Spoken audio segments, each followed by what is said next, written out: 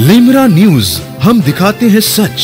देश प्रदेश की सच्ची खबरों के लिए देखते रहिए लिमरा न्यूज़। नाजीन आदाब, मैं हूँ अथर काजमी और आप देख रहे हैं लिमरा न्यूज़। इस वक्त हम मौजूद हैं मुसाहिबगंज में उस प्राइमरी स्कूल के सामने, जहाँ पर अभी चंद दिनों पहले एक बच्चे को कुछ कुत्तों ने हमला करके उसको मार दिया था और यहाँ पर अभी आप देख सकते हैं ताला लगा हुआ। काश ये ताला पहले लगा हुआ होता और इसकी सेफ्टी उसी तरीके से की गई होती तो शायद आज उनके वालदेन अपने बच्चे से इस तरीके से हाथ न धोते।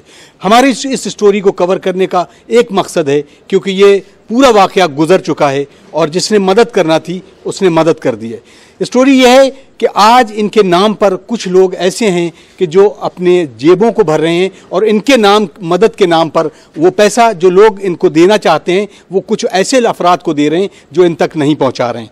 तो हम आज इसीलिए यहाँ पर मौजूद हैं कि हम बात करेंगे उन लोगों से कि जो इस फैमिली की मदद करना चाहते हैं, वो भी इस अंदाज में तो डायरेक्ट इनके वालदेन या इनके घर वालों से रबता करें और उनको मदद पहुँचाएँ। तो हम बात करेंगे यहाँ उन लोगों से भी कि जो यहाँ मोहल्ले के लोग हैं, उनके पेरेंट्स से, यानी माँ और बाप के ज़रिए से कि किस तरीके से उनका हंसता खेलता एक परिवार उनका बच्चा उनके हाथों से चला गया है। शायद इसको मुश्किल तौर पर कुछ अल्फाज कह के इतिश्री कर दी जाए लेकिन सरकार को आज भी सोचना है और सरकार अमलों को सोचना है कि इस तरीके की घटना का पुनरावृत्ति न की जाए। बच्चों के, के वालिद हैं जिनसे हम बात करेंगे क्या नाम है आपका? मेरा शबाब रजा नाम है। शबाब साहब यकीनन बहुत दुख की घड़ी है और शायद इसके अलावा हम और कुछ नहीं कह सकते। लेकिन पता ही चला कि आपके नाम पर बहुत सारे लोग जो हैं लोगों से मदद लेकर। वो पैसा लेकर आ रहे हैं। जी हम हर आदमी यही है लोग कह रहे हैं तुमको कम से कम दस पंद्रह लाख रुपया मिल चुका है।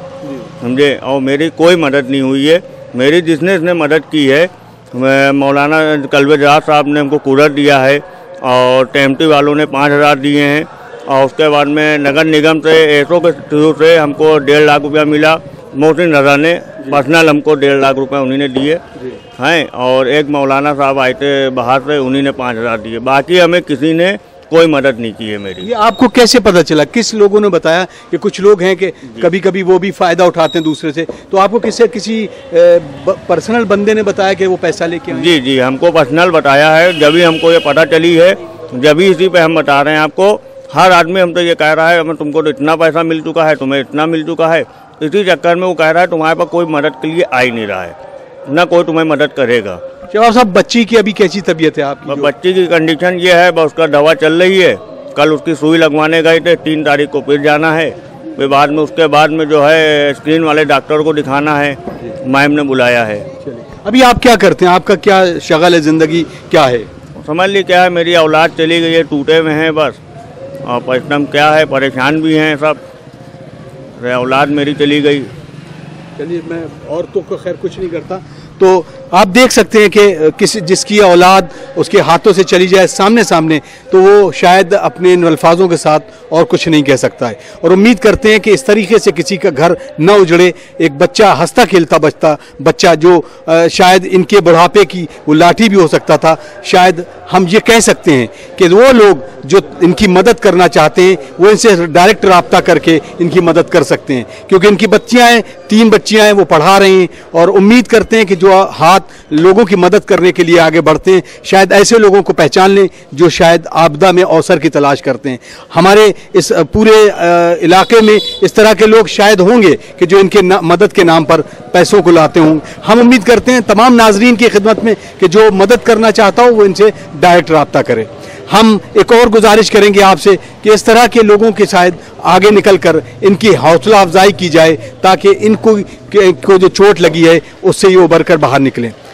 नायब साहब क्या कहना चाहेंगे? इस पूरा जो घटनाक्रम हुआ है, ये हो चुका है। लेकिन अब जो कुछ लोग हैं, इनके नाम की से कुछ लोगों से मदद मांग रहे हैं और वो मदद इन तक नहीं पहुँच रही है। मैं यही कहना चाहूँगा कि मैंने बहुत कोशिश की। यहाँ मैंने नगर निगम को भी एप्लीकेशनें दे रखी हैं और पूरे तरीके से अभी जितना उन्होंने आश्वासन मुझे दिया था, इनके बेटे शवाब रज़ा के बेटे के मौत के वक्त कि हम कुत्तों को सफाया कर देंगे और इनकी मदद करेंगे। कम से कम हमने कहा कि इस वक्त इनकी दस लाख की तक की नगर निगम इनकी मदद करे, सहायता करे और हमने शासन को भी मतलब अवगत कराया था और यहाँ तक के मुख्यमंत्री तक के हमारी एप्लीकेशनें लगी हैं। लेकिन अभी तक ना मेयर ने कोई सुध ली है इनकी, ना हमारे मुख्यमंत्री जी ने इसकी सुध ली है। अभी हाईकोर्ट ने इसका संज्ञान लिया भी था 19 तारीख थी, लेकिन उसकी बढ़ा करके उन्होंने 26 तारीख दे दी है। अभी कोई भी किसी तरीके का इनके पास मदद नहीं आई है। जब हमने थाने का घेराव किया था, जिस दिन इनके बच्चे की मौत हुई थी तो उस दिन सिर्फ़ डेढ़ लाख रुपए की मदद उन्होंने, नगर निगम के आपसी मतलब उन्होंने वसूला था आपस में। उन्होंने यही हमसे कहा कि ये हमने आपस में ये इकट्ठा करके रकम आपको दे रहे हैं और आगे हम मदद करेंगे। लेकिन मिट्टी के, को देखते हुए उसकी ख़राबी ना होने की वजह से मैंने उस पर सब्र किया और ये हमने उन पर विश्वास किया कि वो हमारी आगे मदद करेंगे। लेकिन अभी तक कोई भी प्रतिनिधि यहाँ का विधायक हो, यहाँ का विधायक का विधायक हो, उसने भी आज तक किसी तरीके से ना मदद की सोची, आज तक वो पूछने तक के इस इलाके में नहीं आया, क्या हुआ, क्या नहीं हुआ। उन्होंने नगर निगम ने कुत्ते उठाए तो इसी मुसाहबगंज के, इसी हैदरी इमाम बड़े की गली के उठाए, लेकिन अभी बम्बा सड़क पे हैं मुफ्तीगंज में अभी बेपना कुत्ता मौजूद है। अभी आपके हाथे में मिर्ज़ा अली हाथे में बहुत कुत्ता मौजूद है। अभी चार पाँच दिन पहले भी एक हादसा हुआ है। एक बच्चे को काटा है कुत्ते ने। मैं बार बार अवगत करा रहा हूँ नगर निगम को, लेकिन कोई भी हमारी बात को या इस माहौल को देखते हुए कोई भी प्रशासन के कान नहीं जाग रहे न शासन के कान जाग रहे हैं कि कोई आकर के इस बच्चे की, इसकी मदद करें। कम से कम इसको इतना कर दें कि इसका, कम से कम औलाद गई है, इसके आँसू पूछ जाएँ। कम से कम मैं हुकूमत से आपके माध्यम से ये रिक्वेस्ट करूँगा उनसे निवेदन करूँगा कि इसकी हालत को देखते हुए इसका मुआवजा जो होता हो उस तरीके से कानूनी ढंग से इसका मुआवजा दिया जाए और इसको सहूलियत दी जाए। मैं ये भी एक निवेदन करूँगा कि नगर निगम से कि इसको एक नौकरी दी जाए इसकी वाइफ को दी जाए या इसको दी जाए। भाई इसके साथ मैं अपनी बात ख़त्म करता हूँ। कुत्ते टहलने पहले आप जरा एक बार कुत्ते को ये ये हम अभी इसी रिपोर्ट के तौर पर देख सकते हैं। यहाँ से आप सामने तक देखेंगे और बहुत सारी चीज़ें कभी कभी रिपोर्टिंग में वो बहुत सारी चीज़ें देखना पड़ती हैं।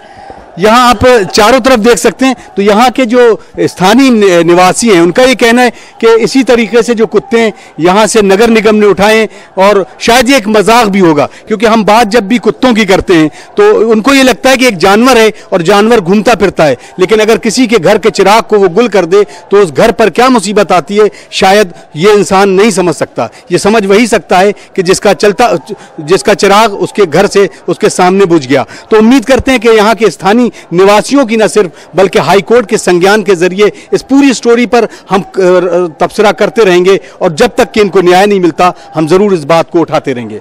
इमरान हैदर के साथ मैं अथर काजमी, लिमरा न्यूज़, लखनऊ।